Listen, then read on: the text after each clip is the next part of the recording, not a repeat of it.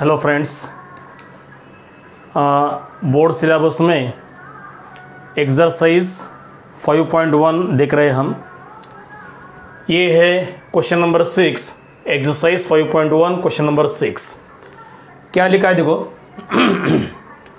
In the given figure express C bar and D bar in terms of A bar and B bar क्या करना है? सी bar और D बार को express करना है। कैसे? In terms of A bar and B bar. अब देखो डायग्राम में क्या दिया है? P Q represents A bar P R represent B bar S R represent D bar S Q represent minus D bar. अब इन दोनों की डायरेक्शन अपोजिट है तो ये रहेगा पॉजिटिव तो ये कैसे रहेगा? Negative because of opposite direction okay तो अब यहाँ पर हम ट्रायंगल लॉ अप्लाई करेंगे देखो by triangle law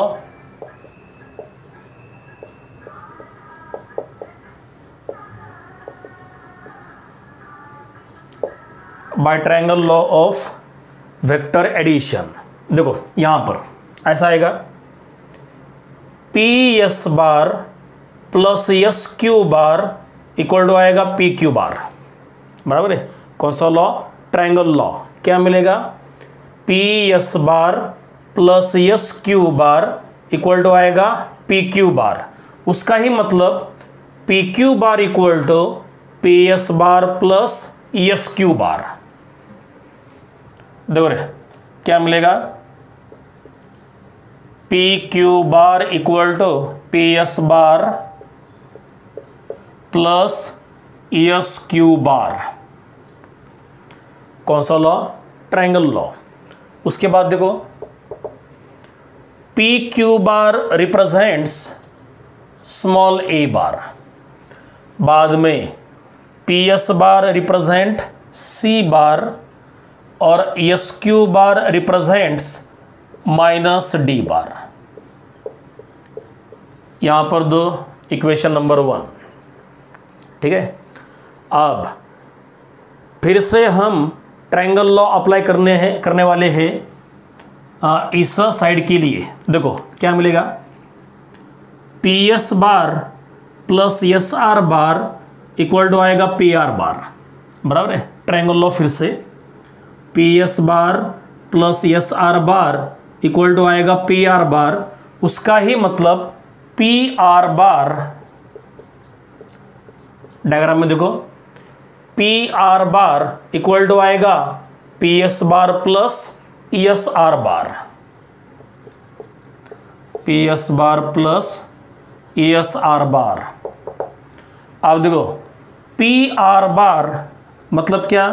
Small B bar equal to P S bar P S bar मतलब C bar plus S R bar मतलब डी बार। यहाँ पर दे दो इक्वेशन नंबर टू। अब एक काम कर लो, अगर हम इन दोनों का एडिशन करते हैं तो डी बार रिमूव हो जाएगा और आपको मिलेगा सी बार, ठीक है ना? और करना क्या है? सी बार और डी बार को निकालना है ए बार और बी बार के फॉर्म में। तो इसके लिए adding one and two adding equations one and two देखो, अब इन दोनों का एडिशन करते वक्त लेफ़्ट साइड में आएगा A bar plus B bar equal अब राइट साइड का एडिशन करने पर minus D bar plus D bar cancel क्या रहेगा? सी बार प्लस सी बार मतलब टू सी बार हाँ तो इस टू को लो लेफ़्ट साइड में, वो आएगा डिवीज़न में, इस तरह से। One by two into A bar plus B bar right है? तो इसका मतलब C bar equal to one by two A bar plus one by two B bar तो ये मिला सी बार किसके फॉर्म में? ए बार और बी बार के फॉर्म में। तो सी बार को हमने फाइंड आउट किया in terms of A bar and B bar. अब क्या निकालना बाकी है? डी बार को निकालना बाकी है ए बार और बी बार के ही फॉर्म में। देखो आप। अब डी बार को निकालना बाकी है। डी बार कहाँ पर है? यहाँ पर है। आप देखो। एक काम करेंगे हम। डी बार को तैयार करना है ना? तो एक काम कर लो। सी बार की वैल्यू इक्वेशन टू में रख दो। आपको मिलेगा D bar put in equation number two आप देखो इक्वेशन नंबर टू के अंदर लेफ़्ट साइड में है बी बार वो रहेगा as it is equal to C bar C bar की जगह पर we can write one by two A bar plus one by two B bar C bar के जगह पर सी बार की वैल्यू पुटअप कर दी। बाद में है प्लस डी बार ठीक है? आप देखो। हाँ निकालना क्या है? डी बार को निकालना है। तो एक काम कर लो।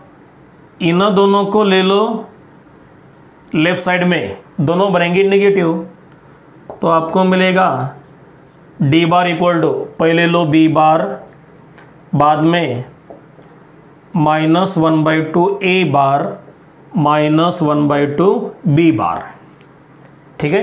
आप देखो डी बार इक्वल टू अब यहाँ पर है बी बार यहाँ पर है minus one by two B bar अब यहाँ पे वन है ना? तो बी बार कॉमन लिया तो क्या मिलेगा? One minus one by two और one minus one by two मतलब simply one by two B bar, बाद में आएगा minus one by two into A bar. तो यही मिला डी बार। तो इस तरह से हमने सी बार और डी बार दोनों को फाइंड आउट किया in terms of A bar and B bar. बस, ये आपका आंसर ठीक है? लिख लो ये कॉपी कर लो। इसके बाद आएगा next question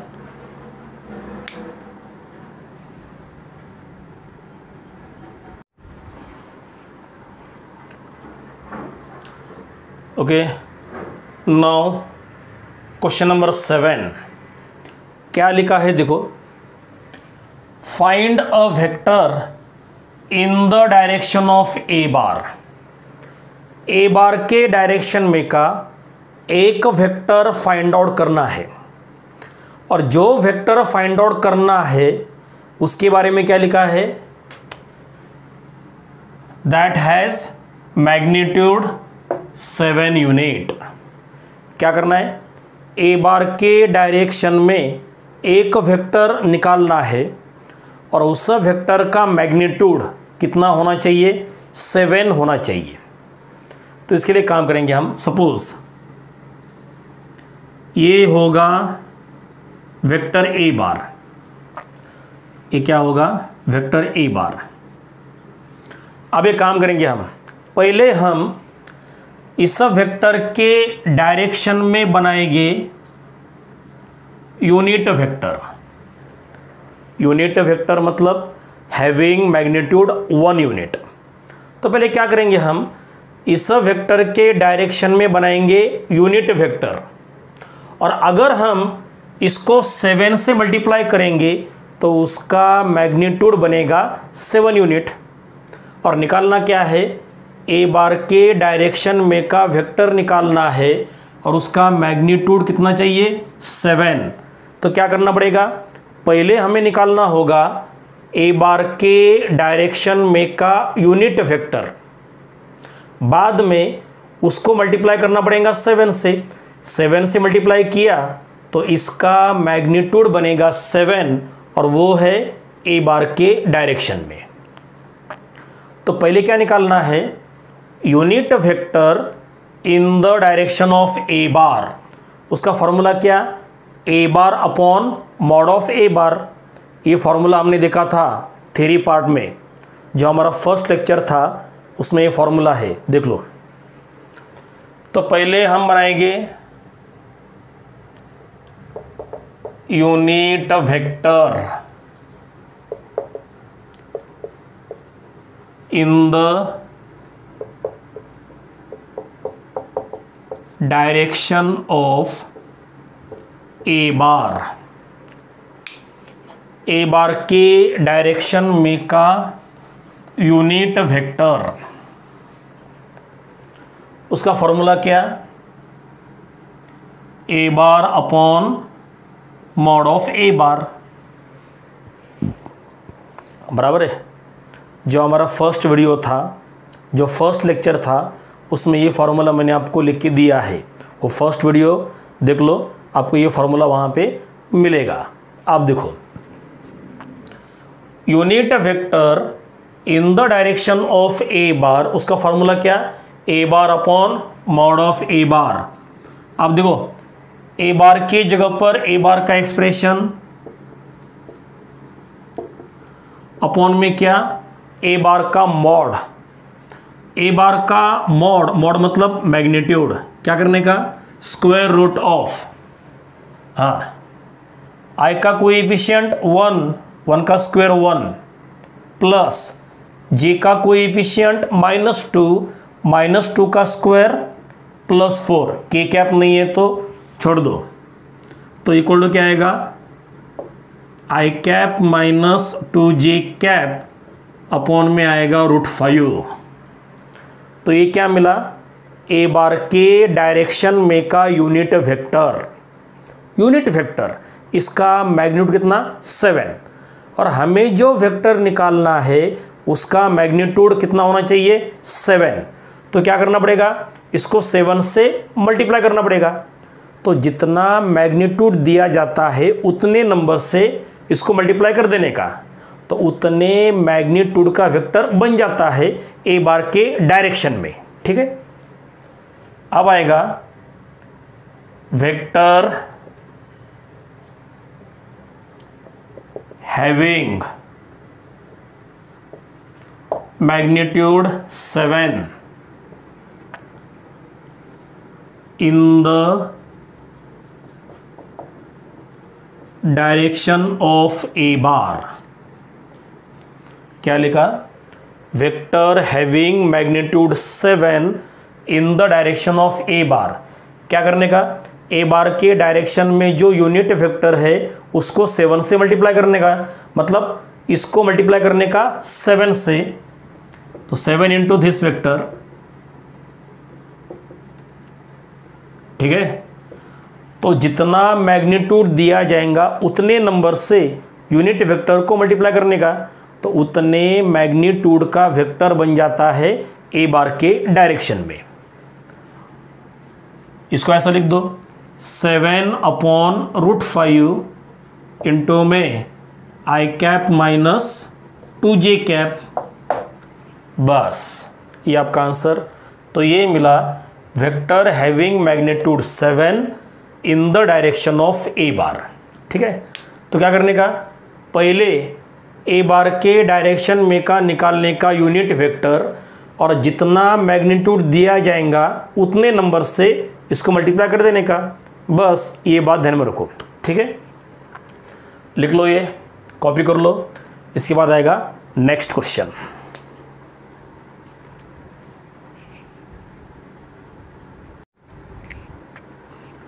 okay now question number eight क्या लिखा है देखो?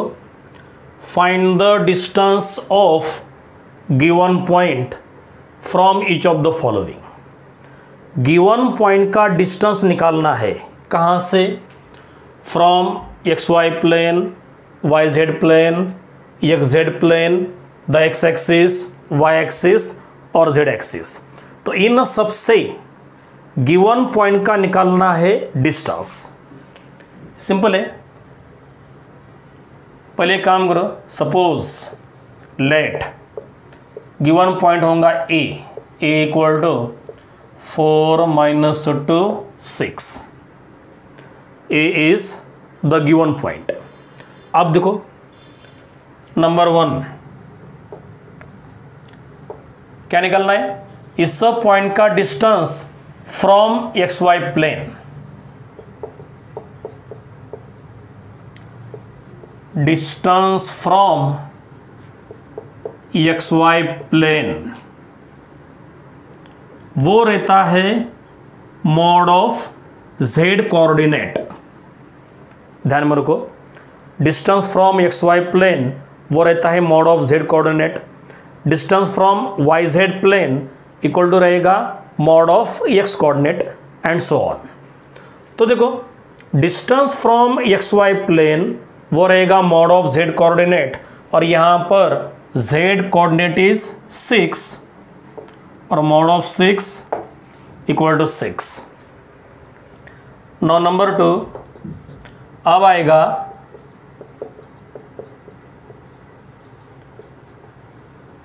distance from Y Z plane.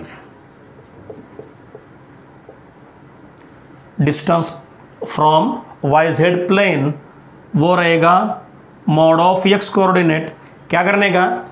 X Y है ना? जेड नहीं है तो जो नहीं है, उसको यहाँ पर लो। यहाँ पे वाई जेड है, एक्स नहीं है, जो नहीं है, उसको यहाँ पर ले लो। अब देखो, एक्स कोऑर्डिनेट क्या है? फोर। तो यहाँ पर आएगा mod of four. Equal to simply four. अब third is what distance from distance from x z plane वो क्या रहेगा? मोड ऑफ़ वाई कोऑर्डिनेट और वाई कोऑर्डिनेट क्या है? माइनस टू और mod of minus two equal to आएगा to.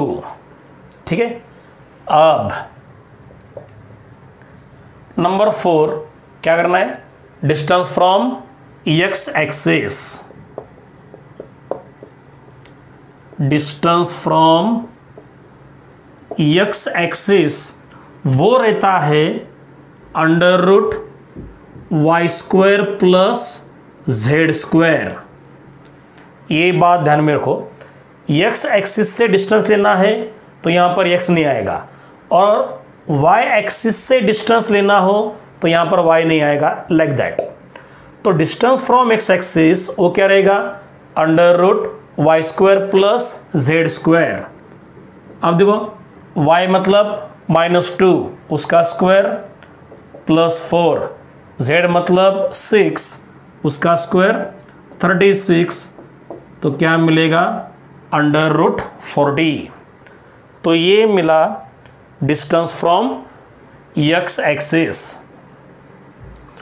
root forty मतलब फोर इंटू टेन मतलब टू रूट टेन बाद में आएगा number five distance from y axis वो रहेगा under root x square plus z square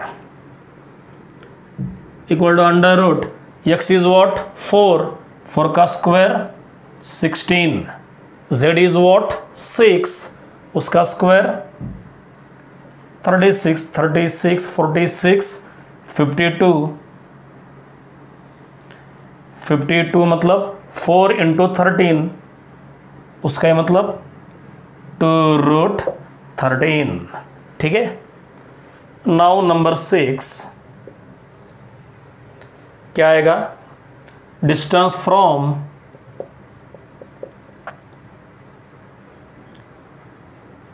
Z axis वो रहेगा under root x square plus y square.